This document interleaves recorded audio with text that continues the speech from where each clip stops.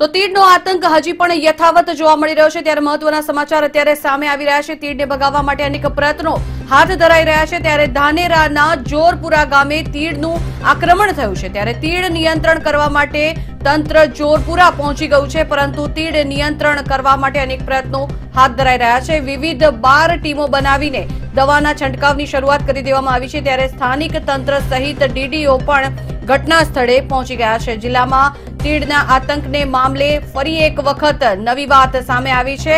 ત્યારે જિલ્લામાં તીડનો ત્રાસ ઓછો થયો હતો ત્યારે ક્યાંક ને ક્યાંક ફરી એક વખત તીડ દ્વારા આતંક મચાવવામાં આવ્યું છે. થરાદમાં રહેલું તીડનું મોટું ઝુંડ સામે આવ્યું છે. રાજસ્થાનના સંચોર તરફ જતા ખેડૂતો માટે રાહતના સમાચાર અત્યારે સામે આવી રહ્યા છે.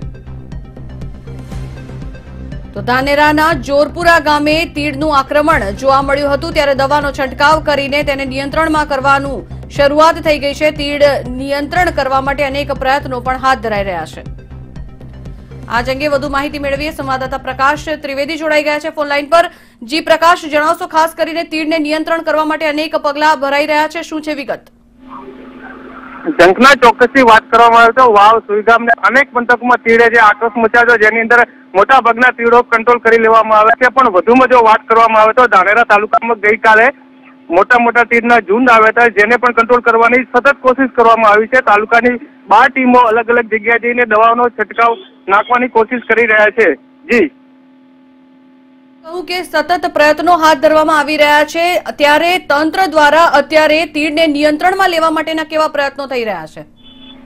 તેની અલગ અલગ ટીમો બનાવીને દવાઓનો છંટકાવ નાખવામાં આવી રહ્યો છે અને મોટા ભાગના તીડો લગભગ કંટ્રોલમાં બેથી ત્રણ દિવસમાં આવી જાય એવી પૂરેપૂરી શક્યતા છે. જી. જી આભાર સમગ્ર માહિતી બદલ. તો સ્થાનિક તંત્ર સહિત ડીડીઓ પણ ત્યાં પહોંચી ગયા છે અને જિલ્લામાં તીડના આતંકને મામલે નવી એક વાત સામે આવી છે. જિલ્લામાં તીડનો ત્રાસ ઓછો થયો છે.